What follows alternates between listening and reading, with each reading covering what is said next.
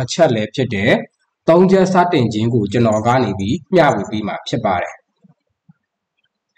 ဟုတ်မျှဝေပေးမယ်ကျွန်တော်ရဲ့နာမည်ကတော့ကိုဝင်းမဲထိုင်လို့ခေါ်ပါတယ်နော်ကိုထိုင်လို့လည်းဒါရင်းရင်းနီးနီးနဲ့ခေါ်လို့ရပါတယ်ကျွန်တော်ကိုဒီလိုမျိုးထူးခြားပြီးကောင်းမွန်နေပေါ့နော်စီးပွားရေးအခွင့်အလမ်းနဲ့မိတ်ဆက်ပေးတာကကြတော့ကျွန်တော်တို့အဖွဲ့အစည်းမှာဆိုစံပြနီးပြပေါ့နော်အဖွဲ့အစည်းရဲ့ခေါင်းဆောင်နော်ဒိုင်းမောရလို့ရှိရင်လီဒါကြီးအမခင်ဒေးဝင်းနဲ့လီဒါကြီးဆရာကိုမြစ်ကျော်လိုပဲဖြစ်ပါတယ် ကျွန်တော်တို့ဒီစီးပွားရေးနဲ့လည်းမိတ်ဆက်ပေးတယ်အဖက်ဘက်ကနေပြီးလို့ရှိရင်လည်းဒါနီးပြလမ်းပြပေးတယ်ပေါ့နော်ဒါကျွန်တော်ကိုလည်းအောင်မြင်စေခြင်းဆုံးနော်ပြုပြင်လမ်းပြပေးတယ်ကျေးဇူးရှင်အလိုက်နီးပြပဲဖြစ်ပါတယ်နော်ဒါလီဒါကြီးတို့ရောက်စလုံးကိုလည်းအရန်ကိုမှကျေးဇူးတင်ပါတယ်ဒီလိုရှင်ကျွန်တော်တို့ကျေးဇူးတင်ထားသူတွေပေါ့နော်တင်ဆရာမြင်ဆရာကြားဆရာကျေးဇူးတင်ထားသူတွေနီးပြကျေးဇူးတင်ထားသူတွေကိုလည်းကျေးဇူးတင်ပါတယ်နောက်ထပ်ပေါ့နော်ကျွန်တော်တို့အခြေခံเนาะဒါ အခြေခံလက်လုံလက်စားတွေအတွက်ပေါ့နော်ရည်ရွယ်ပြီးလို့ရှင်ဒါဆက်ဆက်မှုကုမ္ပဏီကြီးကိုတည်ထောင်ပြီးအောင်မြင်သူတတိလောက်များစွာကိုမွေးထုတ်ပေးနေတဲ့ကုမ္ပဏီပိုင်ရှင်တတိကြီးနှစ်ဦးဖြစ်တဲ့ဒေါက်တာစစ်တဝီကယန်ချာဝနာနဲ့ CEO မစ္စတာနော့ဖက်ကေနူထလာဝစ်ချစ်ပေါ့နော်တတိကြီးနှစ်ဦးကိုလည်းကျွန်တော်အရန်မှကျေးဇူးတင်ပါတယ်ကျွန်တော်ကိုယ်တိုင်ဘာကြောင့်ဒီဆက်ဆက်မှုစီးပွားရေးကိုဝင်ရောက်ပြီးလို့ရှင်စူးစမ်းရတာလဲဆိုတော့ကျွန်တော်ဘဝရဲ့ why enjoy အနေငယ်မိတ်ဆက်ပေးမယ် ကျွန်တော်တို့ဆိုရင်ဒါငငယ်တဲကနေအခြေခံမိသားစုကနေမွေးတဲ့သူတွေဖြစ်တယ်။နော်ကိုတွေကအခြေခံမိသားစုကနေမွေးတဲ့ခါကျတော့သူများနဲ့ရှင်လို့ရှင်ပေါ့နော်။တိမ်ငယ်ရတယ်အားငယ်ရတယ်ကျောင်းမှာဆိုလက်တူတူပဲသူများကမဟုတ်တရားတော့ရေကိုဒီမှာ20လောက်ပဲသုံးနိုင်တယ်ကျောင်းဆို10တန်းနဲ့ထွက်ပြီးလို့ရှင်ဒါလေတော်ထဲမှာပေါ့နော်စရင်ငါသူများစရင်ငါအလုပ်ကိုလုပ်ရတယ် အဲ့ဒီအလုပ်ကိုမလုပ်ချင်လို့ဒါနေပူတဲကအလုပ်ကိုမလုပ်ချင်လို့ဒါရန်ကုန်မြို့မှာစုပြီးလို့ရှိရင်ဒါစောက်လို့ရေးပေါ့နော်ဒါညင်ညင်ပတ်ပတ်နဲ့နော်ဒါစောက်လို့ရေးအလုပ်ပေါင်းမျိုးစုံကိုလည်းလုပ်ခဲ့ဘူးတယ်နောက်ထပ်ကျွန်တော်တို့မြန်မာနိုင်ငံမှာလည်းစာရင်ဒါထိုင်းနိုင်ငံမှာပို့ပြီးပိုက်ဆံရမယ်ထင်လို့ကျွန်တော်ထိုင်းနိုင်ငံကိုကျွန်တော်ရဲ့ခြံကိုသူများစီမှာအတိုးနဲ့ပေါင်ပြီးလို့ရှင်ပေါ့နော်ကျွန်တော်ခက်ခက်ခက်ခဲနဲ့တက်လာခဲ့တယ်ကျွန်တော်စိတ်ထင်တာကကျွန်တော်ထိုင်းမှာပေါ့နော် နှစ်နှစ်လောက်အလုံးလုံးမယ်ဆိုရင်လိုချင်တဲ့အရင်းနှီးရပြီးမိသားစုနဲ့အတူပြန်ပြီးလို့ရှိရင်ဆိုင်ကယ်ပြင်ဆိုင်လိုမျိုးတစ်ပိုင်းတစ်နိုင်ပေါ့နော်စီးပွားရေးအလုပ်လေးတွေလုပ်မယ်တွေးပြီးလို့ရှိရင်တက်လာခဲ့တယ်တကယ်တမ်းထိုင်းမှာနှစ်နှစ်ပြည့်တဲ့အချိန်မှာအကျွေးတောင်မှမကြည့်ဘူးကိုဗစ်ကာလဖြစ်တဲ့အလုပ်တွေပုံမှန်မလုပ်ကြဘူးနှစ်နှစ်ပြည့်လို့အကျွေးမကြည့်ပေမဲ့နော် ကျွန်တော်တို့နောက်ထပ်သူများနိုင်ငံမှာဆက်လက်ပြီးလောက်ကင်ခွင့်ရဖို့အတွက် passport တွေ visa တွေ work permit တွေတက်တန်းတိုးဖို့လည်းကျွန်တော်မှမရှိဘူးเนาะကျွန်တော်ရဲ့ channel လေးကိုလည်းသူများစီမှာပေါင်ထားတာမရွေးရသေးဘူးဖြစ်တဲ့အတွက်ဆုံးရှုံးမှလည်းနှမျောတယ်ကိုယ်တိုင်လည်းပဲဒီမှာရက်တီလို့မရတဲ့အခါကျတော့မြန်မာပြည်ကိုပြန်တော့မယ်ထိုင်းဘက်လမ်းစိမ်း9000 6000လောက်ရှိရင်ကျွန်တော်မြန်မာပြည်ကိုပြန်ပြီနော်အဲ့ဒီလမ်းစိမ်းမရှိလို့စောင့်နေရင်းနဲ့ပဲဒီအခွင့်အရေးကောင်းနေပေါ့နော်ဒါကျွန်တော်ရဲ့ online ကနေမိတ်ဆက်ပြီးတယ် ကျွန်တော်လည်းအတွေ့အကြုံလည်းမရှိဘူးနားလည်းမလည်ဘူးပေါ့နော်လေ့လာကြည့်မယ်ဘာမှမရလဲဘဟုတုတရတယ်ဆိုတဲ့အတွေးလေးနဲ့ဝင်ရောက်လေ့လာရင်းနဲ့ကိုနော်ကုမ္ပဏီရဲ့အားသာချက်တွေနော်3နှစ်မှ5နှစ်လေးစူးစမ်းပြီးနားခွင့်ရမယ်ဖက်စစ်အင်္ဂါဝင်ငွေကိုလိုချင်တဲ့ဈေးကွက်ပလန်ရဲ့456ဝင်ငွေကိုအခွင့်အလမ်းမြင်လို့အများရန်ယုံကြည်မှုအပြည့်နဲ့ပေါ့နော်စူးစမ်းလာခဲ့တာဒီနေ့မှဆိုရင်ဒါ Ruby ဆိုတဲ့ຢာတုန်းနဲ့ ကိုပိုင်အခြေအနေကိုပိုင်ဆိုင်နေတဲ့စီးပွားရေးလုပ်ငန်းရှင်တရားဖြစ်ပါတယ်ဒါကတော့ကျွန်တော်ရဲ့ why enjoy ဖြစ်ပါတယ်နော်အဲ့တော့ဒီညမှာကျွန်တော်မျှဝေပေးမယ်၃ချက်စတင်ခြင်းနော်ကျွန်တော်ဘာသာကျွန်တော်တီထွင်ကြံစပြီးပြောတာမဟုတ်ဘူးအောင်မြင်ခဲ့တဲ့နောက်ဘက် marketing လုပ်ငန်းအတွေ့အကြုံ16နှစ်ရှိပြီလို့ရှိရင်ပညာအရေးချင်းနော်တကယ်ကိုအောင်မြင်ခဲ့တဲ့အခြေခံကနေကြိုးစားပြီးအောင်မြင်လာတဲ့ ဒေါက်တာစစ်တဝီနဲ့ပြီးလို့ရှင်ဒါနောက်ဘက် marketing ဘွယ်ပေါင်းများစွာကိုရရှိပြီးလို့ရှင်လူများစွာရဲ့ဘဝကိုပြောင်းလဲပေးတဲ့သင်ကြားရေးဆရာအတော်ဆုံးဆရာတယောက်လို့လည်းပြောလို့ရတယ်ဒေါက် CEO Mr. Nofet Kiddo ကနေပြီးလို့ရှင်ပေါ့နော်သူတို့ကဆက်ဆက်မှု leadership academy တင်နန်းကျောင်းကနေလာတဲ့၃ချက်စတင်၄ချက်တင်ယူ၅ချက်ရှာဖွေဒါ6ချက်သောခေါင်းဆောင်ဆိုတဲ့ဒီနီးစနစ်ထက်ကနေပြီးမျှဝေပေးတာဖြစ်ပါတယ်နော် ဆက်ဆက်မိုးဆိုတာကဆက်ဆက်ဆိုတာအောင်မြင်မှုမိုးဆိုတာပူပြီးပူပြီးနော်လီဒါဆိုတာကခေါင်းဆောင်ခေါင်းတွေဖြစ်တယ်အကယ်ဒမီဆိုတာကတော့ထူးချွန်ပြောင်မြောက်တဲ့နော်အကြောင်းကြီးတစ်ကြောင်းလည်းဖြစ်တယ်နော်ဒီလိုမျိုးအောင်မြင်သူတွေကိုမွေးထုတ်ပေးနေတဲ့နော်သုံးချက်စတင်ခြင်းမိတ်ဆွေတို့အနေနဲ့ဒီသုံးချက်စတင်ခြင်းကိုမှန်မှန်ကန်ကန်နဲ့မြန်မြန်ဆန်ဆန်စတင်မယ်ဆိုရင်အောင်မြင်မှုရဲ့90ရာခိုင်နှုန်းကိုရရှိပြီလို့လည်းပြောလို့ရတယ်နော်အဲ့ဒီလောက်ထိအရန်မှအရေးကြီးပါတယ် သုံးချက်စတင်ခြင်းနံပါတ်1စတင်ရမယ့်အချက်ကတော့ကုမ္ပဏီကပစ္စည်းကို100ရာခိုင်နှုန်းသုံးရမယ်။သုံးတဲ့နေရာမှာလည်းကျွန်တော်တို့ကပြောင်းလဲမှုယုံကြည်မှုရလက်ထွက်တဲ့အထိသုံးဆွဲရမှာဖြစ်ပါတယ်နော်။ MSC level အောက်မှာပုံလေးတွေပို့ပေးနေမယ်။အာပြီးလို့ရှိရင်ကျွန်တော်လည်းပဲဒီမှာ PowerPoint ပေါ့နော် slide လေး share ပေးထားတယ်။နော်ဒါကတော့နံပါတ်1စတင်ရမယ့်အချက်ဖြစ်တယ်နော်။နံပါတ်2စတင်ရမယ့်အချက်ကတော့ကျွန်တော်တို့ အောင်မြင်ဖို့အတွက်ဤစနစ်သင်တန်းတွေကိုစင်စက်မပြတ်တက်ရောက်သင်ယူရမှာပဲဖြစ်ပါတယ်နော်နံပါတ်3စတင်ရမယ့်ချက်ကတော့ယာရုနဲ့ဝင်ငွေရဖို့အတွက်ကိုယ့်ကိုမိတ်ဆက်ခေါ်ထည့်ပေးတဲ့ align တွေကိုတိုင်ပင်ဆွေးနွေးရမှာဖြစ်ပါတယ်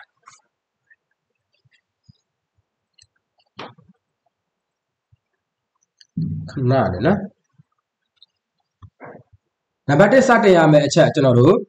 ယာရုနဲ့ဝင်ငွေရဖို့ကိုယ့်ကိုမိတ်ဆက်ခေါ်ထည့်ပေးတဲ့ sorry နံပါတ်1စတင်ရမယ့်အချက်ကတော့ဒီမှာနည်းနည်းလေးခဏလေးနော် okay နံပါတ်1စတင်ရမယ့်အချက်ကကုမ္ပဏီကထုတ်ကုန်ပစ္စည်းတွေကို100ရာခိုင်နှုန်းသုံးရမယ်เนาะပြောင်းလဲမှုရလက်ထွက်တဲ့အထိသုံးရမှာဖြစ်ပါတယ်။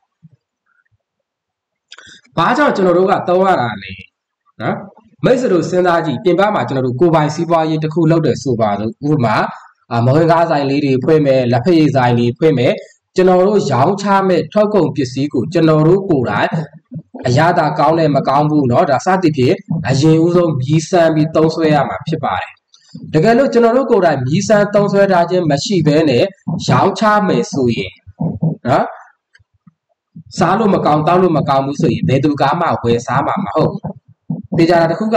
ကိုယ့်ရဲ့ထောက်ကုန်ပစ္စည်းကိုကိုယ်တိုင်ယုံကြည်မှုရတဲ့အထိ နော်သုံးဆွဲပြီးသွားမှစားသုံးသူကိုမှန်မှန်ကန်ကန်ရောင်းချပေးလို့ရမှာဖြစ်ပါတယ်အဲ့လိုပဲကျွန်တော်တို့ဒီ3ချက်စတင်နော်3ချက်စတင်သင်တန်းဂရုမာဆိုလို့ရှိရင်300ဘတ်နဲ့မန်ပါဝင်ပြီးသားစီးပွားရေးစတင်စူးစမ်းနေတဲ့မိတ်ဆွေတစ်တူကိုပဲထည့်လာရမှာဖြစ်ပါတယ်နီလန်းမှန်ဖို့လိုအပ်ပါတယ်နော်ဘာမှမသိတဲ့သူကိုဒီ၃ချက်စတင်ကလူမှာ ထောက်ကုန်ပစ္စည်းတွေကိုတရားရာခိုင်တော့ပြောင်းလဲမှုရလက်ထွက်အောင်သုံးရမယ်ဆိုရင်သူတို့အနေနဲ့အတွေးအခေါ်တွေလွဲသွားစေနိုင်တယ်ဒါကြောင့်မလို့ကျွန်တော်တို့ကမန်ပါဝင်ပြီးသားစီးပွားရေးသမားတွေကိုပဲဒီ group မှာထည့်ပေးရမှာဖြစ်ပါတယ်အဲ့တော့ဆက်ဆက်မိုးကုမ္ပဏီမှာ300ဘတ်ပေးသွင်းပြီးမန်ပါဝင်လိုက်တာနဲ့ဆက်ဆက်မိုးရဲ့ကုမ္ပဏီကကျွန်တော်တို့ရဲ့ကုမ္ပဏီဖြစ်တဲ့ဆက်ဆက်မိုးရဲ့ထုတ်ကုန်ပစ္စည်းကကျွန်တော်တို့ရဲ့ထုတ်ကုန်ပစ္စည်းဖြစ်တယ် နော်ကုမ္ပဏီကပစ္စည်းကိုထုတ်လုပ်ပေးတယ်ကျွန်တော်တို့ကကြော်ညာလက်ကားလက်လီဆိုတဲ့အကျိုးခံစားခွင့်90ရာခိုင်နှုန်းပြန်ရတာဖြစ်ပါတယ်ကုမ္ပဏီနဲ့ကျွန်တော်တို့နဲ့ကအကျိုးတူစီးပွားဘတ်နော်ကျွန်တော်တို့မှာအရင်းနှီးတွေအများကြီးရင်းစရာမလိုဘူးကုမ္ပဏီကအကုန်လုံးလောက်ထားပေးပြီးသားနော်နိုင်ငံပေါင်း၈နိုင်ငံရုံးခွဲပေါင်း38ရုံးပစ္စည်းအမျိုးအစားပေါင်း100ကျော်ကိုကုမ္ပဏီကနေထုတ်လုပ်ပေးပြီးသားဖြစ်ပါတယ်မိတ်ဆွေတို့ကကိုယ်တိုင်သုံးဆွဲကြည့်မယ်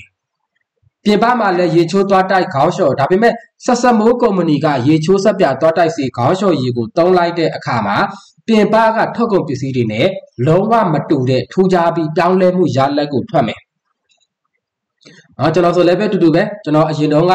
ပြင်ပမှာသွားတိုက်စီတဘူးကို30ဘတ်တန်50ဘတ်တန်ပဲကျွန်တော်သုံးနေနော် ဆက်ဆံမိုးကုမ္ပဏီမှာ180ဘတ်တန်သွားတိုက်စီကိုကျွန်တော်သုံးပြီးတဲ့အချိန်မှာပြင်ပကသွားတိုက်စီကိုကျွန်တော်လုံးဝကိုပြန်သုံးလို့မရတော့တာဘာကြောင့်လဲဆက်ဆက်မိုးထုတ်ကုန်ပစ္စည်းရဲ့အရေးအသွေးကသုံးဆွဲပြီးပြီဆိုရင်ထပ်မံပြီးလို့ရှင်ဆက်လက်ပြီးသုံးဆွဲခြင်းစိတ်တွေကိုဖြစ်ပေါ်စေတယ်အရေးအသွေးအရန်ကောင်းလို့ပြောင်းလဲမှုရလက်ထွက်လို့အဲ့တော့ကိုယ်တိုင်သုံးလို့ကောင်းတာကိုကောင်းတယ်လို့ပြန်လည်ပြီးလက်ဆက်ကမျှဝေပေးရေးနဲ့ကျွန်တော်တို့လောက်ကမှာက ကိုယ်တိုင်သုံးမယ်ပြန်လည်မျှဝေမယ်ကျွန်တော်တို့ကဘာမှလုပ်เสียမလိုဘဲနဲ့ကုမ္ပဏီနဲ့အတူအကျိုးတူစီးပွားဘတ်တွေဖြစ်ပါတယ်အဲ့တော့စဉ်းစားကြည့်ပါမိတ်ဆွေခုနကအချိန်မှကျွန်တော်ပြောခဲ့သလိုပဲမိတ်ဆွေကအောင်မြင်တဲ့စီးပွားရေးလုပ်ငန်းရှင်ဖြစ်ချင်တယ်ဆိုလို့ရှိရင်တော့မိတ်ဆွေကိုယ့်ရဲ့ကုမ္ပဏီကထုတ်ထားတဲ့ထုတ်ကုန်ပစ္စည်းတွေကိုပြောင်းလဲမှုရလက်ထွက်တဲ့အထိသုံးဆွဲရမှာဖြစ်ပါတယ်ဘယ်လိုမျိုးလဲဆိုရင်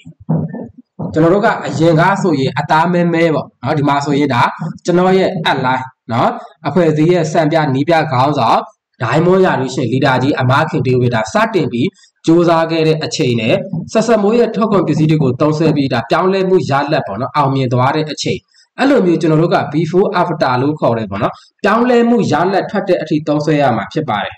ကျွန်တော်ဆိုလည်းပဲတူတူပဲ နော်ဟိုးရင်တော့ကဆိုရင်ဖုတ်ကင်းမျိုးမှာရောမြန်မာပြည်မှာရောပရိဘောဂတွေနေပူကလေးမှာကြမ်းကြမ်းတက်တက်နဲ့လုပ်တဲ့အသားကမင်းမဲရုပ်ကဆူဆူပေါ့နော်ဒီနေ့ဒီအချိန်မှာဆိုရင်ဒါဆက်ဆက်မိုးရဲ့ထွက်ကုန်ပစ္စည်းတွေကိုတုံးပြီးလို့ရှိတာချောလဲချောတယ်ထောလဲထောနေတာဖြစ်ပါတယ်။ဘာကြောင့်ကျွန်တော်တို့ကပြောင်းလဲမှုရလက်ထွက်အောင်တုံးရတာလဲ။နော်ပြင်ပမှာကျွန်တော်တို့မဟင်ကားဆိုင်လေးဖွင့်မယ်လက်ဖက်ရည်ဆိုင်လေးဖွင့်မယ်အဲကျွန်တော်တို့ဖွင့်မယ်မဟင်ကားဆိုင်လက်ဖက်ရည်ဆိုင်ကိုကျွန်တော်တို့က ညင်ညစ်ပတ်ပတ်နဲ့နော်တန်တက်ရှင်းရှင်းမလောက်ထားဘူးဆိုရင်ကြီးလိုက်တာနဲ့စားသုံးသူကဟဲ့စာရလဲညစ်ပတ်နေတာပဲဆိုပြီးဘယ်သူမှဝယ်ယူစားသုံးကျင်စိတ်တွေဖြစ်ပေါ်မှာမဟုတ်ဘူး။မတိကြတာတခုကဒါကြောင့်မလို့ကျွန်တော်တို့ရောင်းတဲ့လက်ဖက်ရည်ဆိုင်ပဲဖြစ်ဖြစ်မဟင်ကားဆိုင်ပဲဖြစ်ကျွန်တော်တို့ရောင်းချတဲ့သူကလည်းတန်တက်ရှင်းရှင်းလေးနဲ့ချောချောမောမောလေးနေမယ် အဲပြီးလို့ရှိရင်ဆိုင်အခန်းသားကိုလည်းတက်တက်ရှင်းရှင်းလေးနဲ့ပြင်ဆင်ထားမယ်ကြီးလိုက်တာနဲ့ကိုစားသုံးသူကစိတ်ချမ်းသာပြီးလို့ရှိရင်ဟဲဆိုင်လေးကအရန်တန်တာပဲဆိုပြီးလူတိုင်းကနေဝယ်ယူစားသုံးခြင်းစိတ်တွေဖြစ်ပေါ်စေတယ်အဲ့လိုပဲကျွန်တော်တို့ကဆက်ဆံဖို့ကုမ္ပဏီမှာကိုယ်တိုင်သုံးဆွဲပြီးတော့မှပြန်လဲမျှဝေမှာအကျိုးခံစား권90ရာခိုင်နှုန်းကိုမြန်မြန်ဆက်ဆက်နဲ့ပြည့်ပြည့်ဝဝရမှာဖြစ်တယ်တကယ်လို့ကျွန်တော်တို့ကထဆံမိုးရဲ့ထက်ခွန်ပစ္စည်းကိုကိုယ်တိုင်တော့မသုံးဆွဲထားဘူး သူများကိုသွားပြီးလို့ရှိရင်တကယ်ချင်းငါတို့ရဲ့ဆော့ဆော့မိုးကုမ္ပဏီကလေသွားတိုက်စီးကအရန်ကောင်းတာဟုတ်လားတကယ်ချင်းအဲ့ဆိုရင်အဲ့ဒီသွားတိုက်စီးကဘာအယောင်လဲဘလို့အရတာရှိတာလဲဟုတ်တယ်မလားသူတို့မေးလာပြီဆိုရင်ကျွန်တော်တို့ကိုယ်တိုင်တော့သုံးဆွဲထားခြင်းမရှိဘူးဆိုရင်ဘာပြန်ပြောလို့ပြောရမှမသိတော့ဘူးအဲ့တော့မပြောတတ်ဘူးဆိုရင်ဘယ်သူကယုံပါလဲနော်နောက်တစ်ခုကမိတ်ဆွေတို့ကထောက်ကုန်ပစ္စည်းကိုမသုံးဘဲနဲ့နော် အာပေါက်အောင်เนาะကျွန်တော်တို့အပင်ပန်းခံပြီးတငယ်ချင်းရေငါတို့ရဲ့ကုမ္ပဏီကပစ္စည်းတွေเนาะအရန်ကောင်းတာเนาะနိုင်ငံတကာမှာဘာဖြစ်တဲ့ကြဖြစ်တဲ့ပေါ့เนาะကိုယ်တိုင်တော့တုံးဆွဲထားခြင်းမရှိဘဲနဲ့သူများတကာကိုသုံးပါသုံးပါနဲ့အာပေါက်အောင်သွားပြောမလားဒါမှမဟုတ်ကိုယ့်ရဲ့ခန္ဓာကိုယ်ခုနကကျွန်တော်ပြောခဲ့သလိုပဲကျွန်တော်တို့ရဲ့ဆက်ဆက်မိုးကုမ္ပဏီမှာစိုင်မျက်နှာပြင်စိုင်တီနေယာဆိုပြီးလို့ရှိရင်တီးတတ်မရှိဘူးကျွန်တော်တို့ရဲ့ခန္ဓာကိုယ်ကျွန်တော်တို့ရဲ့မျက်နှာပြင်သားလေနော်စိုင်မျက်နှာပြင်ဖြစ်တယ် အဲ့တော့မိတ်ဆွေရဲ့ခန္ဓာကိုမိတ်ဆွေရဲ့မျက်နှာပြင်မှာအရင်ကတော့အသားမဲမဲဘိုက်ပူပူနဲ့ရုပ်ဆိုးဆိုးလူတယောက်ကအခုဆက်ဆက်မိုးရဲပေါ့နော်အရေးသွေးကောင်းတဲ့ထွက်ဖို့ပစ္စည်းတွေကိုတုံးဆွဲပြီးနော်ချောလာမယ်ဟုတ်တယ်မလားအရင်တော့ကဆိုရင်ဘိုက်ပူကြီးနဲ့ကြည့်ရတာရုပ်ဆိုးတယ်ဒီနေ့မှဆိုရင်ဘိုက်ခေါက်လေးတွေကလည်းအစီပူလေးတွေရှော့ချပြီးဘိုက်ကလေးတွေချက်ပြီးခန္ဓာကိုယ်လေးကတွယ်လဲရပြီးလှပမယ်အသားရည်လေးကလည်းအဆိုတန်လေးတွေထိမ့်ပြီးလို့ရှင်ပေါ့နော်စူပြေမယ်ဝင်းပါမယ်နော်ကြမ်းလဲကြမ်းပါမယ်ဆိုရင်တကယ်ချင်း မင်းအခုလိုမျိုးကျမ်းမာပြီးလို့ရှိရင်ချောမောလှပအောင်မင်းဘာထောက်ကုန်ပစ္စည်းတွေသုံးတာလဲငါလည်းပဲမင်းလိုမျိုးကျမ်းမာပြီးချောမောလှပခြင်းနဲ့မင်းသုံးတဲ့ထောက်ကုန်ပစ္စည်းလေးငါ့ကိုပေးပြီးလို့ရှိရင်သုံးပါအောင်ရောင်းပါအောင်ငါလည်းပဲမင်းလိုမျိုးချောခြင်းနဲ့နော်အဲ့လိုမျိုးလာပြီးမေးမြန်းဝယ်တဲ့အထိကျွန်တော်တို့ရဲ့ခန္ဓာကိုယ်မှာပြောင်းလဲမှုရလက်ထွက်အောင်သုံးနာမယ်ဆိုရင်သူများကကျွန်တော်တို့ကိုလာမေးမှာဖြစ်ပါတယ် တကယ်လို့ကျွန်တော်တို့ရကမတုံးထားဘူးဆိုရင်တော့ကျွန်တော်တို့ကသူများကိုသွားပြီးလေးကုံအောင်အာပအောင်သွားပြောရမှာဖြစ်ပါတယ်မိတ်ဆွေတို့ရွေးချယ်ဘာလိုခြင်းလဲနော်တေချာတစ်ခုကကျွန်တော်တို့ဆက်ဆက်မိုးကုမ္ပဏီမှာကုမ္ပဏီကနေပြီးလို့ရှိရင်ရုံးခွဲပေါင်း38ရုံးနိုင်ငံပေါင်း8နိုင်ငံမှာအားလုံးအပီးအစီလှုပ်ဆောင်ပေးပြီးသားဖြစ်တယ်ကျွန်တော်တို့က မန်ပါဝင်ပြီးတာနဲ့အိတ်စောကတိလို့ခေါ်တဲ့ရှယ်ယာဝင်အကြီးစားထိုင်းဘတ်ငွေပမာဏ14000ဝန်းကျင်လေးတက်တက်လုံးမှာတစ်ကြိမ်တစ်ခါလေးပဲကိုလိုတဲ့ပစ္စည်းလေးကိုဝယ်သုံးရင်းနဲ့ကိုယ့်ရဲ့ခန္ဓာကိုယ်မှာကိုယ့်ရဲ့မျက်နှာပြင်မှာပြောင်းလဲမှုရလက်ထွက်အောင်သုံးလိုက်မယ်ရှယ်ယာဝင်အကြီးစားတစ်ယောက်ဖြစ်သွားပြီဆိုတာနဲ့မိတ်ဆွေတို့နော်ကုမ္ပဏီနဲ့အတူအကျိုးတူစီးပွားဘက်ဝင်ငွေ6လမ်းပြန်ပြီးလို့ရှိရင်ရရှိမှာဖြစ်ပါတယ်ဒါကြောင့်မလို့နံပါတ်1စတင်ရမယ့်အချက် အရန်မှအရေးကြီးတယ်နော်မန်ပါဝင်ပြီးတာနဲ့အမြန်ဆုံးကိုယ့်ရဲ့ထွက်ကုန်ပစ္စည်းတွေရဲ့အရေးအသွေးကိုကိုယ်တိုင်ယုံကြည်မှုအပြည့်အဝရဖို့အတွက်ကိုယ့်ရဲ့ခန္ဓာကိုယ်မှာပြောင်းလဲမှုရလက်ထွက်တဲ့အထိထောက်ကုပ်ပစ္စည်းတွေကိုစနစ်တကျမှန်မှန်ကန်ကန်နဲ့ထိထိရရသုံးစွဲရမှာဖြစ်ပါတယ်။တခုကြိုပြောထားချင်တာကကျွန်တော်တို့ရဲ့ဆက်ဆက်မှုထောက်ကုပ်ပစ္စည်းတွေကနတ်ဆေးတွေမဟုတ်ဘူးနော်။အုံဖွဲ့ဆိုပြီးလို့ရှိရင်ဖန်ဆင်းလို့ရတာတော့မဟုတ်ဘူး ဒါကြောင့်မို့ကျွန်တော်တို့ကအရေးသွေးကောင်းတဲ့ထွက်ကုန်ပစ္စည်းတွေကျွန်တော်တို့ရဲ့ထွက်ကုန်ပစ္စည်းတွေကနိုင်ငံတကာကနေအတိမတ်ပြုထားတဲ့เนาะတဘာဝ organic เนาะကုန်ကျန်းပစ္စည်းတွေနဲ့ နော်ထုတ်လုပ်ပေးထားတာဖြစ်တယ်လုံးဝဓာတုကင်းလို့ကုန်ကျန်း organic ကုန်ကျန်းပစ္စည်းတွေနဲ့ထုတ်လုပ်ပေးထားတာဖြစ်တဲ့အတွက်မိတ်ဆွေတို့ပြင်ပမှာဓာတုဆေးဝါးတွေဆိုလို့ရှိရင်နေမကောင်းဖြစ်တဲ့အချိန်ချက်ချင်းတောက်ချက်ချင်းပြောက်တယ်ဒါပေမဲ့မကြဘူးပြန်ပြီးလို့ရှိရင်ဖြစ်တယ်ဒါတဘာဝတစ်ခုပဲเนาะ နေမကောင်းဖြစ်တဲ့အချိန်မှာတောက်တယ်ပြီးလို့ရှိရင်တိတ်မကြဘူးအဲ့ဒီယောဂအမြင့်ပြတ်မသွားဘူးပေါ့နော်တကယ်လို့ကျွန်တော်တို့ကဒါရှေ့လူကြီးတွေမြန်မာလူမျိုးတွေပို့ပြီးလို့ရှိရင်သိရနော်အရှေ့လူကြီးတွေပြောတဲ့ကျွန်တော်တို့မြန်မာတိုင်းရေးဆေးပေါ့နော်မြန်မာတိုင်းရေးဆေးဆိုရင်တေချာတာတစ်ခုက organic เนาะဒါတော်တဲ့တောင်ထဲကနေဆေးမြစ်ဆေးပူတွေနဲ့ပေါ့နော်ဒါကုသမယ်ဆိုလို့ရှိရင်လုံးဝအမြင့်ပြတ်ပဲအဲ့လိုပဲအမြင့်ပြတ်အောင်ကုဖို့အတွက်ဆိုရင်ကျွန်တော်တို့ကအချိန်ယူပြီးလို့ရှိရင်စနစ်တကျမှတ်မှတ်ကန်ကန်သုံးဆွဲတတ်ဖို့လိုအပ်တယ် ဒါကြောင့်မို့ကျွန်တော်တို့ရဲ့ထုတ်ကုန်ပစ္စည်းတွေက organic ကုန်ကျန်းပစ္စည်းတွေနဲ့နိုင်ငံတကာကနေအတိမတ်ပြုပြီးထုတ်ပေးထားတာဖြစ်တဲ့အတွက်အခုတောက်ပြီးအခုပြောင်းလဲမှာတော့မဟုတ်ဘူးနော်ဒါကြောင့်မို့ကျွန်တော်တို့ကကိုယ့်ရဲ့စားသုံးသူကိုဂယူတဆိုင်နဲ့မှန်မှန်ကန်ကန်စနစ်တကျလမ်းညွှန်ပေးတတ်ဖို့လိုအပ်တယ်ဘယ်လိုမျိုးလဲဆိုရင်ဥပမာကိုယ့်ရဲ့စားသုံးသူကမျက်လုံးမှုန်နေအဲ့တော့ကျွန်တော်တို့ကမျက်စိအားသေးလည်းဖြစ်တယ်ပေါ့နော်ဖလိုးနဲ့ထားကတ်နော်ဖလိုးကကြတော့ အုံနောက်အာယုံကျော်အာဖိဓာတ်စာနော်အာထားကတ်ကကြတော့မျက်လုံးအာဖိဓာတ်စာဒီနှမျိုးကိုကျွန်တော်တို့တွဲသုံးမယ်ဆိုရင်စိတ်တွေကြည်လင်လန်းဆန်းပြီးလို့ရှိရင်အမြင်အာယုံတွေကြည်လင်ဝင်းပစေမှာဖြစ်ပါတယ်တဘူးတဲ့သုံးယုံနဲ့တော့ပြောင်းလဲမှာမဟုတ်ဘူးဒါကြောင့်မို့ကျွန်တော်တို့ကကိုယ့်ရဲ့ customer စားသုံးသူဖောက်တဲ့ကိုအနည်းဆုံး3ဘူးလောက်3ပြည့်အောင်လို့နော် ဒါကအမှန်တရားတစ်ခုဖြစ်တယ်နော်မိတ်ဆွေကျွန်တော်ပြောတာကိုသဘောပေါက်မယ်ထင်တယ်နော်အဲ့တော့ကိုယ့်ရဲ့စားသုံးသူကိုကိုကအနည်းဆုံး3ဘူးလောက်3ပြည့်တယ်ဆိုမှသူ့ရဲ့ပြောင်းလဲမှုကတိတိတတ်တာလုံးဝအမြင့်ပြတ်ပြောင်းလဲမှုရရှိသွားမှာဖြစ်ပါတယ်ဒါကြောင့်မို့ကိုကအဲ့ဒီလိုမျိုးကိုယ့်ရဲ့စားသုံးသူကိုမှန်မှန်ကန်ကန်နဲ့ဂရုစိုက်ပေးတတ်ရမယ်အဲ့လိုမျိုးဂရုစိုက်ပေးတတ်ဖို့အတွက်ကိုကိုတိုင်းကလည်းကိုယ့်ရဲ့ထွက်ကုန်ပစ္စည်းကိုယုံကြည်မှုပြောင်းလဲမှုရလက်ထွက်တဲ့အထိထိထိရောက်ရောက်သုံးစွဲရမှာဖြစ်ပါတယ် အရန်မှအရေးကြီးတယ်ဆက်ဆံမှုကုမ္ပဏီမှာတသက်လုံးမှာတစ်ကြိမ်တစ်ခါလေး PB 3000 share ဝင်အကြီးစားဖြစ်ဖို့14000ဝန်းကျင်လေးနဲ့မိတ်ဆွေတို့နိုင်ငံပေါင်း၈နိုင်ငံရုံးခွဲပေါင်း38ရုံးမှာကိုပိုင်စည်းပွားရေးလုပ်ခွင့်ရတာဖြစ်ပါတယ်တကယ်လို့မိတ်ဆွေတို့ကိုဘာသာကိုနော်ကျွန်တော်တို့ဆိုကြပါစို့စင်ကာပူမှာကျွန်တော်တို့စီးပွားရေးသွားပြီးလို့ရှိရင်လုပ်မယ်မိတ်ဆွေတို့ရမယ်ထင်လားဟုတ်တယ်မလားမလေးရှားနိုင်ငံမှာသွားပြီးလို့ရှိရင်ကျွန်တော်တို့စီးပွားရေးလုပ်မယ်ရမယ်ထင်လားလုံးဝမဖြစ်နိုင် အခုဆိုရင်ကျွန်တော်ထိုင်းမှာနေတဲ့မလေးရှားမှာကျွန်တော်ဖက်သားတွေရှိတယ်မလေးရှားရုံးကလည်းကျွန်တော်ရုံးပဲမလေးရှားကဒိုင်မွန်တွေကျွန်တော်တို့နဲ့တွေ့ဓာတ်ပုံတွေရိုက်တယ်စင်ကာပူကဆဖိုင်ယာယာရူရှင်တွေနော်အမရာဒီရူဘီယာရူရှင်တွေကျွန်တော်တို့နဲ့တွေ့ဓာတ်ပုံရိုက်တဲ့ရုံးကိုသွားရင်ကျွန်တော်တို့ကိုဆိုရင်ဒါဖဖော်ရည်ရည်နဲ့စီးကြိုတယ်နှုတ်ဆက်တယ်ဘာကြောင့်လဲအဲ့ဒါကျွန်တော်တို့ရဲ့ရုံးတွေပဲဖြစ်တယ်စဉ်းစားကြည့်မိတ်ဆွေဒါကြောင့်မလို့အခွင့်အရေးမြင်ရင်ဆက်ဆက်မှုမှာလောက်ရတာကိုကိုကိုဂုံယူလို့ရတယ် နိုင်ငံပေါင်း၈နိုင်ငံမှာရုံးခွဲပေါင်း38ရုံးရဲ့ကုမ္ပဏီပိုင်ရှင်စီးပွားရေးလုပ်ငန်းရှင်တယောက်ဖြစ်ပါတယ်မြန်မာနိုင်ငံမှာဆိုလဲကျွန်တော်တို့သွားရင်ကျွန်တော်တို့ကိုခကြီးဦးကြိုဆိုပြီးသားပဲเนาะဒါရုံးမှာရှိတယ်ကျွန်တော်တို့ဒါဝန်ထမ်းတွေဆိုလို့ရှိရင်ဒါကျွန်တော်တို့ရဲ့ဝန်ထမ်းတွေပဲเนาะအဲ့တော့မိတ်ဆွေတို့ဒါဂုံယူတတ်မဲ့ဆိုလို့ရှိရင်เนาะတကယ်ကျွန်တော်တို့ကကိုယ်တိုင်ဒီလိုမျိုးဟုတ်တယ်မလားစင်ကာပူမှာသွားပြီးကိုယ်တိုင်ရုံးသွားဖွဲ့မဲ့ဆိုလို့ရှိရင်ကျွန်တော်တို့တော့မှဟို အလုံးမရှိတဲ့အခါကြာလို့ရှိရင်ကိုယ့်ရဲ့စာဝင်နေရတာမှာအဆင်မပြေတဲ့ရက်တွေအများကြီးရှိရဘယ်လိုလုပ်ဖြစ်နိုင်မှာလဲဟုတ်တယ်မလားအခုဆိုရင်ဒီမှာစင်ကာပူမှာလည်းကျွန်တော်တို့ရဲ့ရုံးရှိတာပဲမလေးရှားနော်လာအိုကမ္ဘောဒီးယားဗီယက်နမ်ကြိုက်တဲ့နိုင်ငံမှာဈေးကွက်ထိုးပေါက်လို့ရတယ်နော်ကျွန်တော်တို့ရဲ့မြန်မာပြည်သားတွေလာအိုမှာလည်းရှိတယ်ကမ္ဘောဒီးယားဗီယက်နမ်နော်ဒါနိုင်ငံတိုင်းမှာဈေးကွက်တည်ဆောက်လို့ရတာဖြစ်ပါတယ်ပြီးလို့ရှိရင်ကျွန်တော်တို့မဖြစ်မနေကြုံတွေ့ရမယ့်သဘာဝတရားတစ်ခုရှိတယ် နော်ဒါကကျွန်တော်တို့ကုမ္ပဏီမှာထုတ်ထားတဲ့ထောက်ကုန်ပစ္စည်းနော်တဘာဝအားဖြည့်ဓာတ်စာတွေတကွေသုံးတွေအိမ်တွင်းသုံးတွေရေသက်ရေသက်နော်ဒါဆက်ပစ္စည်းအုပ်စုတွေအလားပြင်ပစ္စည်းအုပ်စုတွေလေယာသုံးတွေပစ္စည်းအမျိုးအစားပေါင်း100ကျော်ထိထုတ်လုပ်ပေးထားတာဖြစ်တယ်နော်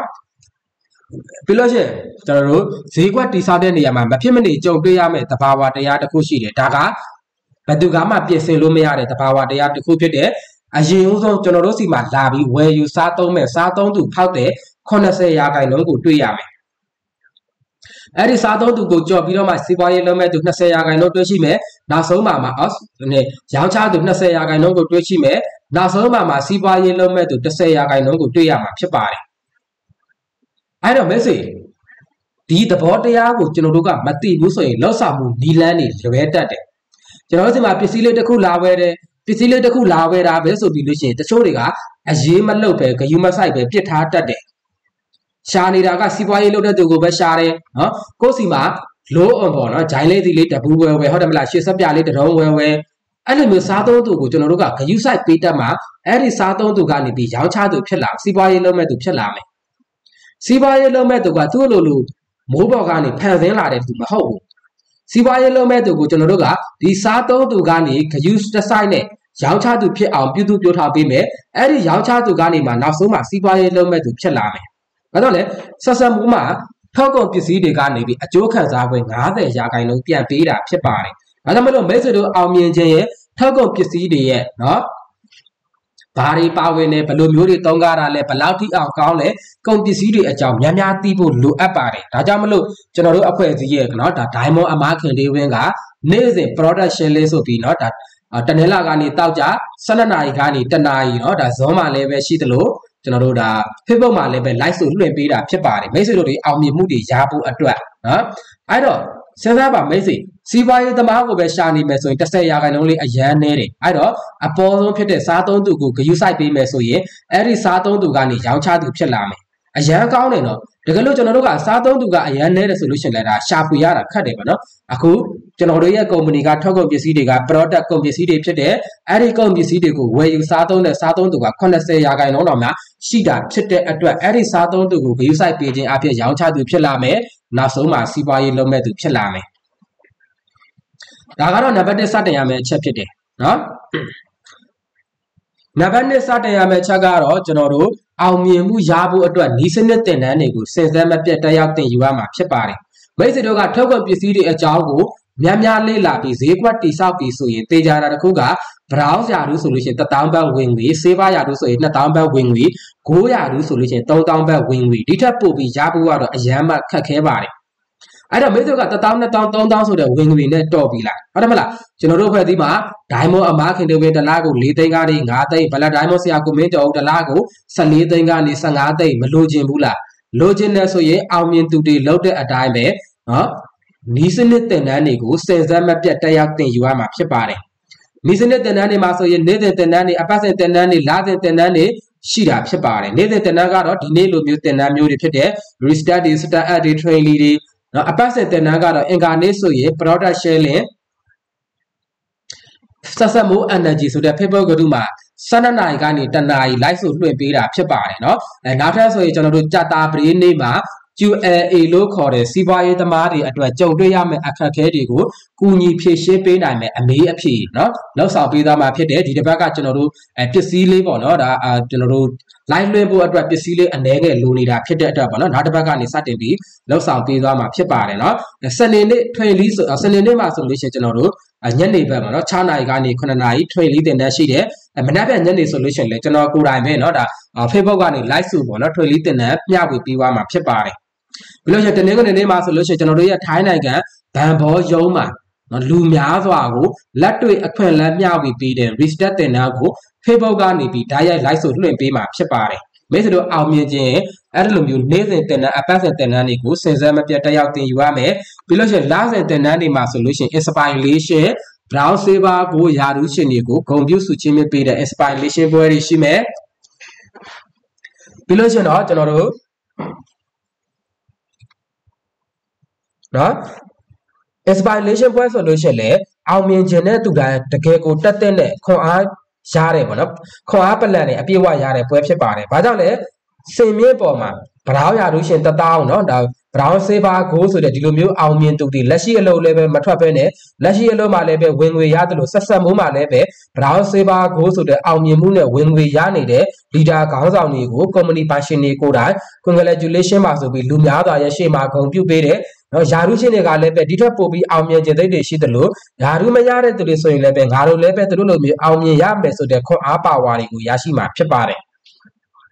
ပြီးလို့ချင်းကျွန်တော်တို့စတက်ယူဟာ business web why လို့ခေါ်တဲ့ဘဝရဲ့အတိတ်ဘက်ကိုရှာဖွေပေးတဲ့ why ပွဲသင်တန်းဖြစ်ပါတယ်အရန်မှတန်ဖိုးကြီးတယ်နော်ပညာတွေသင်တယ်ဆိုတာကယင်းဒီမြုံနှံမှုဖြစ်ပါတယ်ကုန်ကြငွေမဟုတ်ဘူးနော်လူအများစုကကျွန်တော်တို့ငွေကြေးကိုအရှင်သခင်လိုသဘောထားတယ် နော်ကျွန်တော်တို့ဒါစေစေရတအများစုကပေါ့နော်ငွေကြေးကိုအရှင်သခင်လိုသဘောထားတယ်ချမ်းသာတဲ့သူတွေကငွေကြေးကိုကြေးကျွန်လိုသဘောထားတယ် ချမ်းသာတဲ့သူတို့ကသူတို့ရဲ့ပတ်စံတွေကိုနောက်ထပ်တိုးပွားဖို့အတွက်เนาะပတ်စံတိုးပွားနိုင်မဲ့နေရာတွေမှာရင်းနှီးတယ်ပြုတ်တန်တယ်အတိုးတွေပေးတယ်ဗန်တွေမှာအပ်တယ်နော်ဆင်းရဲသားတွေကရတဲ့ပတ်စံလေးတွေကိုကြစ်ကြစ်ပတ်အောင်စုပြီးနောက်ဆုံးကြလို့ရှိရင်ကြုံလာတဲ့အခက်အခဲကိုအဲ့ဒီပတ်စံလေးနဲ့ပြန်ပြီးဖြည့်ရှင်းရတာဖြစ်ပါတယ်။ နော်ဒါကြောင့်မလို့ကျွန်တော်တို့ကငွေကိုကြေးကြော်အဖြစ်ခိုင်းစားတတ်ဖို့လိုအပ်တယ်ယင်းဒီမြုပ်နှံမှုကကြေးကြော်အဖြစ်ခိုင်းစားခြင်းဖြစ်ပါတယ်အဲ့တော့ပညာတွေသင်တယ်ဆိုတာကလည်းအတူတူပဲနော်ပညာတွေသင်တယ်ဆိုတာကယင်းဒီမြုပ်နှံမှုဖြစ်တယ်တချို့လူအများစုကပေါ့နော်ပညာသင်မယ်ဆိုရင်အချိန်မပေးခြင်းကြဘူးသင်တန်းလက်မှတ်တွေဝယ်ဖို့အတွက်တွတ်ဆုတ်တွတ်ဆုတ်နဲ့တွားရဲကောင်းလို့လို့မတွားရဲကောင်းလို့လို့နော် တွတ်ဆုပ်တွတ်ဆုပ်တွေဖြစ်ကြတယ်ရဲရဲတင်းတင်းဝယ်ပါပညာသင်တယ်ဆိုတာကယင်းဒီမြုပ်နှံမှုဖြစ်တဲ့မိတ်ဆွေတို့ဒီသင်တန်းကိုတွားတက်လိုက်လို့ရရှိလာတဲ့အဲ့ဒီပညာခွန်အားတွေနဲ့စ조사မယ်ဆိုရင်တိန်းနဲ့တန်းနဲ့ချီပြီးဝင်ငွေရမှာဖြစ်ပါတယ်ဘာကြောင့်ချမ်းသာခြင်းလားလေဘာကြောင့်မွေးဖွားလာပြီးဘာကြောင့်ချမ်းသာခြင်းလားလေဘယ်သူအတွက်ကြောင့်ချမ်းသာခြင်းတာလဲဘယ်အချိန်မှာချမ်းသာခြင်းတာလဲဝိုင်းပွဲမှာဆိုရင်အရန်ခွန်အားတွေရတယ်เนาะကျွန်တော်တို့တွေမျက်လုံးလေးမှိတ်ပြီးလို့ရှိရင်ခံစားကြည့် ကိုဘယ်သူအတွက်ကြောင့်ချမ်းသာခြင်းတာလဲအရင်ဆုံးပေါ်လာတာကျွန်တော်တို့ချစ်ခင်ရတဲ့သူတွေရဲ့မျက်နှာတွေဖြစ်တယ်သူတို့အတွက်ကြောင့်ကျွန်တော်တို့ချမ်းသာခြင်းနဲ့အဲ့ဒီအချိန်မှာဆိုရင်ကျွန်တော်တို့ဟာဝမ်းနည်းတယ်ကြေကွဲတယ်မျက်ရည်တွေကျတယ်အောင်မြင်ခြင်းစိတ်တွေတကယ်ကိုเนาะကုမ္ပဏီပါရှင် CEO ဆိုရင်မိုးလေးဒါ9နာရီကနေပြီးမိုးချုပ်9နာရီအထိတောက်လျှောက်10မြင့်ပေါ်မှာမယက်မနာနော်ခွန်အားပါဝါအပြည့်နဲ့ပညာတွေမျှဝေပေးတာဖြစ်ပါတယ်ကျွန်တော်တော့မလုံနိုင်ဘူး CEO လိုမျိုးအခုကျွန်တော်တင်တန်းပြောတာမိနစ်30မပြည့်သေးဘူးเนาะပြောမယ်ဆိုလို့ရှိရင် မောနေပြီနော်ဒါကြောင့်မလို့တကယ်ကိုတန်ဖိုးရှိတဲ့ကျွန်တော်တို့ရဲ့ကုမ္ပဏီပိုင်ရှင်ဆိုအဲ့လိုမျိုးလူများစွာဘဝကိုပြောင်းလဲပေးဖို့သူကိုယ်တိုင်သူ့ကိုယ်သူအမြဲတမ်းလေးကျင့်လာခဲ့တယ်နော်ဒါတကယ်လေးစားရတဲ့စံပြပုဂ္ဂိုလ်ကောင်းတစ်ယောက်ဖြစ်ပါတယ်ပြီးလို့ရှိရင်6လမှတခြင်းကျင်းပပေးတဲ့ကျွန်တော်တို့ဒါဆက်ဆက်လို့ခေါ်တဲ့အောင်မြင်သူများစုဝေးရတင်နန်းပွဲဖြစ်ပါတယ်ကျွန်တော်တို့ဒါပထမတော့တလပိုင်းပေါ့နော်နှစ်လပိုင်း17ရက်နေ့ဆိုလို့ရှိရင်အဲကျွန်တော်တို့က ကုမ္ပဏီကနေပြီးတာဒါဆက်ဆက်ပွဲကျင်းပပြီးဖို့ပဲအခုကတော့ကျွန်တော်တို့ရက်ပြောင်းရတယ်နော်9လပိုင်း21 22နော်9လပိုင်း21 22ပတ်တရာကမ်းခြေမှာနိုင်ငံပေါင်း၈နိုင်ငံနော်နိုင်ငံပေါင်း၈နိုင်ငံကအောင်မြင်သူတွေအများကြီးကိုလာမယ်တင်နန်းပွဲကြီးတဆက်ဆက်နော်ဒီပွဲကပွဲအကြီးဆုံးဖြစ်ပါတယ်နော်ပြီးခဲ့တဲ့ကျွန်တော်တို့ဒသသပွဲနှစ်ကြိမ်တည်းစာရဲ့ဒီတစ်ခေါက်တင်နန်းပွဲကပတ်တရာကမ်းခြေမှာနော် တညာအိတ်နှစ်ရက်ခရီးစဉ်လုံးဝတင်နန်းပွဲကြီး international เนาะဒါနိုင်ငံတကာကပြီးခဲ့တဲ့တင်နန်းပွဲကဆိုလဲဒါမလေးရှားတို့စင်ကာပူတို့လာအိုတို့ကမ္ဘောဒီးယားတို့တော့လာတယ်ဒီတစ်ခေါက်ကတော့เนาะဒါအပြည့်အဝเนาะနိုင်ငံရှစ်နိုင်ငံကနေလာမှာဖြစ်ပါတယ်เนาะတင်နန်းပွဲကြီးဖြစ်ပါတယ်လက်မှတ်တွေကြိုတင်ပြီးဝယ်လို့ရတော့မယ်နော်လုံးဝမတွန့်ပါနဲ့ဝယ်ပါနော်ပညာသင်တာရင်းနှီးမြှုပ်နှံမှုဖြစ်ပါတယ်အဲပြီးလို့ရှိရင်ခံပွဲတင်တယ်နော်ကျွန်တော်တို့လာမဲ့ဒီလာမဲ့12လပိုင်းပေါ့နော်28 29နော် နယူးရီးယားပါတီခန်းနှစ်တစ်ကူညညတာစားပွဲပေါ့နော်ဒါပါတီခန်းလို့ပြောတယ်နော်အဲအဲ့မှာဆိုလို့ရှိရင်ကျွန်တော်တို့ဒါအခုတရေကြားတာကတော့ဆိုင်ကယ်မဲဖောက်ပေးမယ်လို့လည်းเนาะတရင်တွေတော့ကြားတယ်เนาะဘယ်လိုဖြစ်မလဲတော့ပထမတော့ဒီအဆိုတော်တွေလည်းငှားမယ်လို့လည်းပြောတယ်เนาะဒါပျော်ရွှင်မှုလည်းရရှိမယ်တကယ်ကိုเนาะဒါကျွန်တော်တို့ဘဝမှာကြုံတွေ့နေရတဲ့အခက်အခဲပြဿနာတွေကိုဖြေရှင်းနိုင်မယ်ပညာတွေလည်းရရှိမှာဖြစ်ပါတယ်เนาะဒီလိုမျိုးတင်တန်းပွဲတွေကိုမိတ်ဆွေတို့အောင်မြင်ခြင်းရင်တက်ပါတင်တန်းပွဲတက်ဖို့အတွက်ဘယ်တော့မှတွန်းဆုပ်တွန်းဆုပ်မဖြစ်ပါနဲ့ တင်တန်းပွဲတွေကိုတက်ဖို့အတွက်မိတ်ဆွေတို့တွန်းဆုပ်တွန်းဆုပ်ဖြစ်နေမယ်ဆိုရင်ဈေးတစ်သေးကိုရောက်တဲ့အချိန်မှလည်းပဲကိုလိုချင်တဲ့အရာလေးကိုဝယ်ဖို့အတွက်ဝယ်ရင်ကောင်းလို့လို့မဝယ်ရင်ကောင်းလို့လို့အိတ်ကက်ထဲကပတ်စံကိုပြန်ကြည့်เนาะရှေ့တိုးရလို့လို့နောက်ဆုံးရလို့လို့နဲ့တွန်းဆုပ်တွန်းဆုပ်တွေဖြစ်နေတတ်တယ်။ဘာကြောင့်လဲကိုယ်မှမရှိတဲ့အခါကျတော့လိုချင်ပေမဲ့လည်းမရဘူးเนาะအဲ့တော့ဒီတင်နန်းဘက်ကိုတွတ်တက်ပြီးရရှိလာတဲ့ပညာတွေနဲ့မိတ်ဆွေတို့စူးစမ်းမယ်ဆိုရင်အိတ်ကက်ထဲကပတ်စံကိုလှည့်မကြည့်နဲ့လိုချင်တာအကုန်တိုက်ဝယ်လို့ရတာဖြစ်ပါတယ်။ ကျွန်တော်လည်းပဲတူတူပဲကျွန်တော်ဟိုးရင်တော့ဆိုရင်ထိုင်းနိုင်ငံမှာ196ဘတ်တန်အင်းဒီတစ်ထည်ကိုတော့မှဝယ်ဖို့ကျွန်တော်ဝယ်ရင်ကောင်းလို့မဝယ်ရင်ကောင်းလို့เนาะကျွန်တော်မှတစ်ထည်နှစ်ထည်သုံးထည်လောက်ပဲရှိတယ်ဒီနေ့ဒီချိန်မှာကျွန်တော်အခန်းမှာလာကြည့်အပေါ်ဆုံးကเนาะဒါကုတ် solution အနည်းဆုံး2000ကျော်တန်ကပဲဒါ6ထည်9ထည်ရှိတယ်เนาะတကယ်ကိုဒါကြွားတာမဟုတ်ဘူးရလက်ကိုပြောပြပေးတာเนาะဒါကျွန်တော်တို့ဒီသင်တန်းတွေကိုတက်ခဲ့ပြီးစူးစမ်းခဲ့လို့ဖြစ်ပါတယ်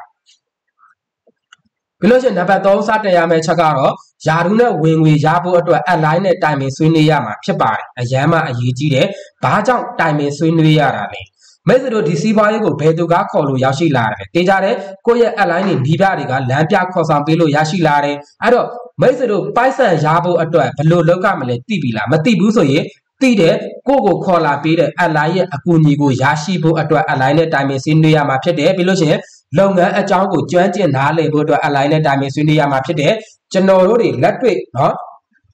လူသစ်မိတ်ဆက်အခွင့်အလမ်းပေးတဲ့နေရာမှာတိုက်ပွဲဝင်တယ်လို့လည်းပြောလို့ရတယ်နော်တိုက်ပွဲဝင်တဲ့အခါမှာငင်းပယ်မှုတွေကိုလည်း short ချပေးနိုင်မယ်နော်ဒါ alliance မှာလည်းရရှိမဲ့ပညာတွေကိုလည်းရရှိမှာဖြစ်တယ်ပြီးလို့ရှိရင်ကျွန်တော်တို့တွေ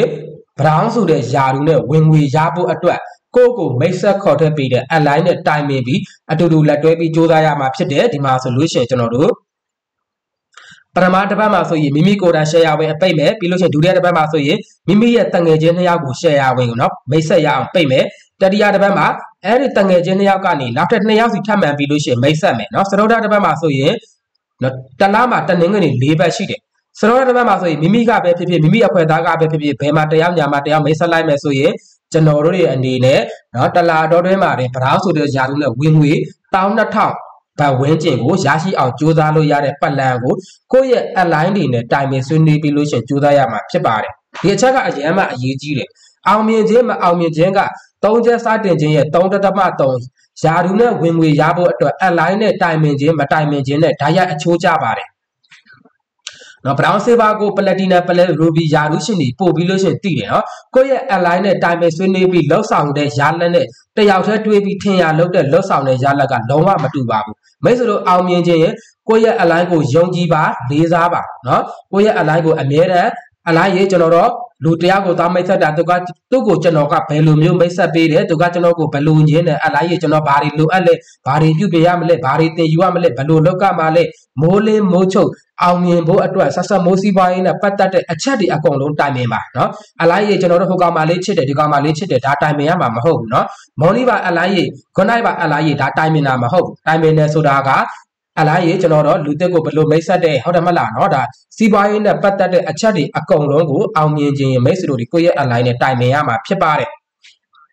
တေချာတာတစ်ခုကမိတ်ဆွေတို့ဒီ၃ချက်စတင်သုံးတသမတက်ထောက်ကွယ်ပစ္စည်းတွေကိုအမြန်ဆုံးသုံးပြီး share ဝင်ကြီးစားတရားဖြစ်အောင်ကြိုးစားမယ်ပြီးလို့ရှိရင်ဒီစနစ်တင်တန်းတွေကိုစက်စမ်းမပြတ်တက်ရောက်တင်ယူမယ်ယာရုနဲ့ဝင်ငွေရဖို့အတွက်ကိုယ့်ကိုမိတ်ဆက်ခေါ်ထည့်ပေးတဲ့ align တွေနဲ့တိုင်ပင်မယ်ဆိုရင်လူတိုင်းအရောက်တိုင်းအမြန်ဆုံးကိုအောင်မြင်မှုတွေရရှိမှာဖြစ်ပါတယ်တော့ ော်ဒီညမှာကျွန်တော်မျှဝေပေးတဲ့၃ချက်စတင်ကတော့ဒီလောက်ပဲဖြစ်ပါတယ်၈နာရီလဲထိုးတော့မယ်နော်10မိနစ်ပဲလိုတော့တယ်ဆိုတော့အခါကျတော့နောက်ထပ်ကျွန်တော်တို့ restart သင်တဲ့အသီးသီးမှာဆက်လက်ပြီးလို့ရှင်ပညာတွေသင်ယူရမယ်အားလုံးနဲ့တူတူအောင်မြင်မှုရဲ့ပန်းတိုင်မှာစုံကျင်ပါတယ်နော်ဒီ၃ချက်စတင်ခြင်းကိုအမြန်ဆုံးစတဲ့ရဲ့အောင်မြင်မှုရဲ့90ရာခိုင်နှုန်းကိုရရှိနေပြီဖြစ်ပါတယ်နော်အဲဆိုလို့ရှင်ဒီညမှာ MC လာလုပ်ပေးတဲ့အရန်တော်တယ်ပေါ့နော်ဒီသားကြီးကျွန်တော်ရဲ့တူလေးလည်းဖြစ်တဲ့ကြော်စောလင်းကိုမိုက်ပြန်အပ်ပါတယ်နော် ဟုတ်ကဲ့ပါနော်အဲလီတာကြီးနော်အရမ်းမှပဲတော်ရပါတယ်ခင်ဗျာနော်ဟုတ်ကဲ့ပါနော်ဒီမှာရှိတဲ့မိတ်ဆွေများအားလုံးနော်ကျွန်တော်ရဲ့နော်အ align နီးပြမျှဝေပေးသွားတာနော်ကိုကတကယ်ကိုပညာတွေနော်ရလိုက်တယ်ဆိုရင်